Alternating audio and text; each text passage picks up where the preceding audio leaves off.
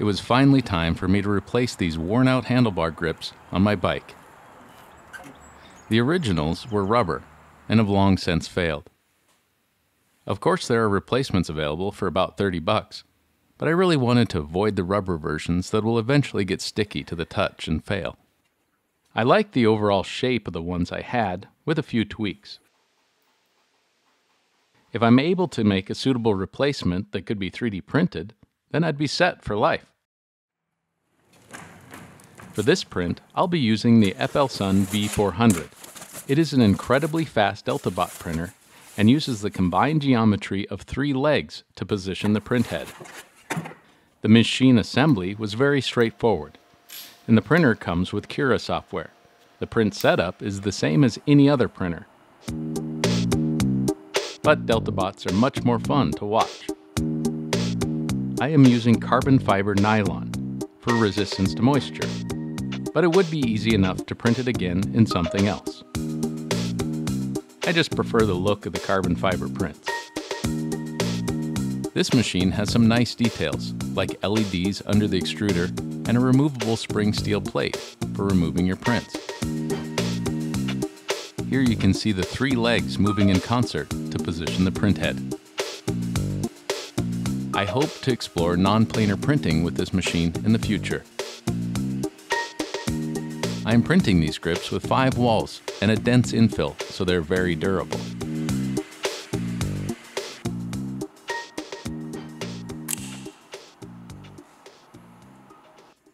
To get a semi-accurate pattern for the leather, I will wrap the area like you would a boxer's hands. Using short pieces of tape will conform the best to the curvature of the surface. Being sure to get at least three layers of tape for durability. The location of the seam is important, and I tried to balance comfort with where the seam could be the most advantageous for wrapping the curvature. The leather can be asked to stretch a little bit, but there are limits.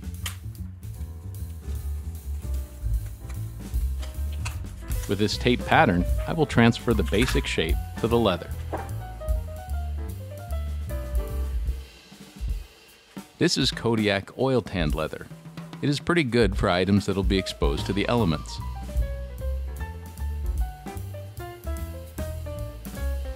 Here I can make small adjustments until it fits perfectly. Ideally, I'd have about an 8 to 3 16 inch gap to pull together at the seam. If I was only doing one set of handles, I could probably make do with this one that I manually cut. Because I am interested in repeatability, I will scan this back into the computer so I can develop a digital pattern. In CAD, I can easily array the holes and play with possible patterns for the grip. Next, I could simply print the final patterns.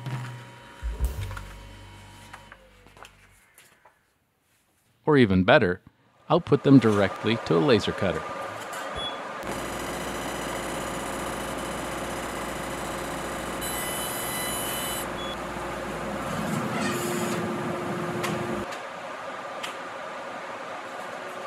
Using a razor blade, I'll cut the few fibers that the laser missed.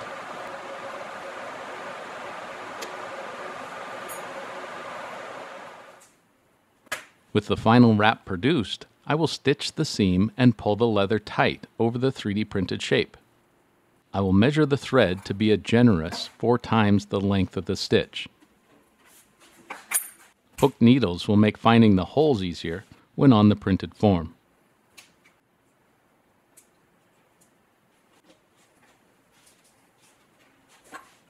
The wrap should sort of slip into place at this point.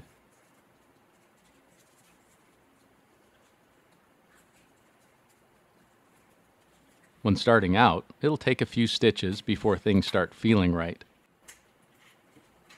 I am using a baseball stitch because it's pretty straightforward, like lacing your shoes, or like lacing really long boots. Just pull the leather and thread tight as you go.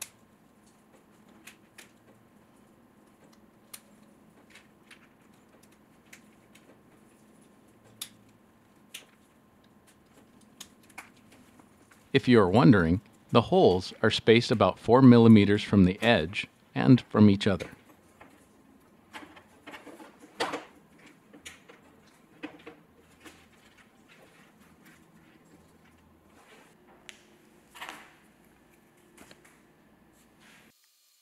I also looked into doing other styles of stitches, but ultimately chose the baseball stitch. Mostly because of the traditional look and the simplicity of the stitch.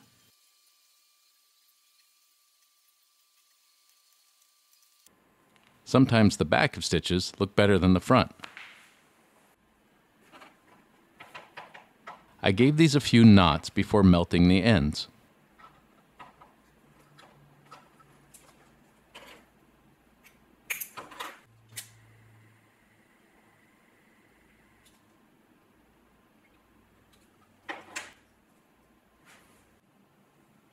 I'll use insert nuts to allow me to tighten the grip to the handlebar. This uses a hot iron to heat them up and melt into a predefined hole.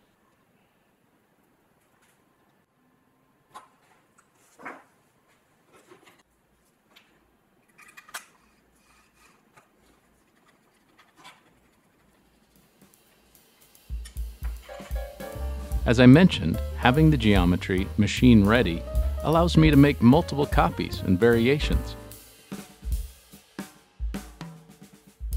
If you want to print your own, please check the description. For the red and black bike, I decided to stick with the theme.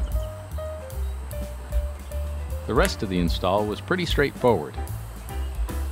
Not only do these new grips look great, but they'll also lead to many more years of enjoying my bike in comfort and style.